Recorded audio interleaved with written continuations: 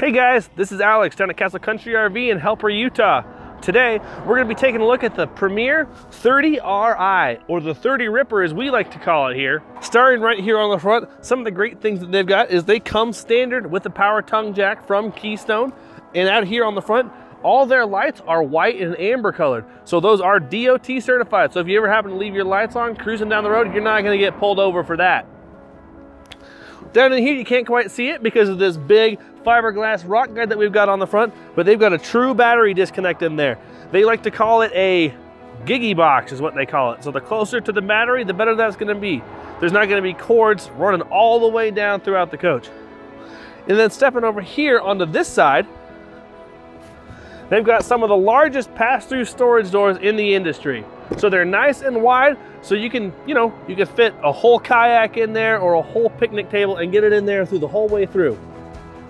Pointing this out here, one thing that they do over the competitors is they have their key TV system.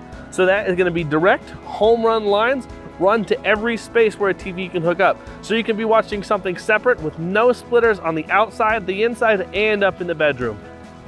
Why don't we actually go check out the outside kitchen while we're talking about it, huh? Here's that awesome outside kitchen area I was telling you about. In these, they do a really awesome thing. They put an Insignia TV out here that is hooked up to that key TV system we were just talking about. So you can run your cable lines and be watching TV while you're out here making dinner. You've got this awesome storage area with this nice slide out shelf that you can set up your little gas oven or something on to cook on out here. And you got this nice little inverted mini fridge. Now this one does have to be hooked up to shore power to work, but when you're hooked up to shore power, you can run everything on this coach. You got all three TVs, you got AC, you got furnace. Everything will work when you're hooked up to shore power, so you're not losing anything. One other great thing that Bullet does over some of the competitors is their speakers, they're mounted on the outside of the wall. So instead of drilling a hole this big for your speaker, they're only drilling a hole this big for your wire. And as you know, water is the worst enemy when it comes to an RV. They also do a pinch roll process on their laminated sidewalls. Basically, they're squeezing their walls between two steam rollers to get full glue coverage on here so there's no chance of delamination on there. Why don't we take a look inside and look at some of the awesome stuff they do on the inside. Guys, welcome inside. Look at this awesome spacious kitchen you got here. You got an island right in the center here, and you do have solid surface countertops all throughout. So none of these are ever gonna peel up on the edges or anything like that. You got this nice big farmhouse style stainless steel sink. These are actual painted cabinets, so there's no veneer here on the inside that's ever gonna peel off. These are gonna stay the same color the whole time you own the coach. You got a Furrion microwave, stove, and cooktop here. So you got the three burners and the nice gas oven underneath here as well. And over here, we've got even more cabinet space. Look at the size of this pantry in there. Goes all the way to the exterior of the slide. You got your nice Insignia TV and the 4,777 BTU electric fireplace. Now, a space heater is 1,500 BTUs, so this is going to be three times as powerful as your standard ceramic space heater. You got the nice Thomas Payne couches and furniture, and these things, they have storage all over the place. You got stuff in the sides of it, you got stuff here in your little end tables, coming over here, you even got it on the sides and the center of your theater seating.